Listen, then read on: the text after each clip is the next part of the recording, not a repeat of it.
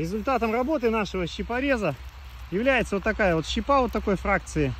Веточки, стволы до 15 сантиметров мы превращаем в щепу. Как правило, распыляем ее по территории.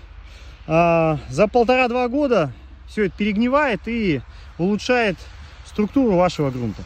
Кроме того, щепу эту можно использовать приствольные круги, можно использовать при отсыпке дорожек, в каком-то, в каких-то задачах приусадебного хозяйства. А, это добро, из которого можно извлечь пользу. Не жгите его, не вывозите его на свалку. Используйте его в своем хозяйстве. Объект исполнен. Пора домой. И наши малыши уже в домике.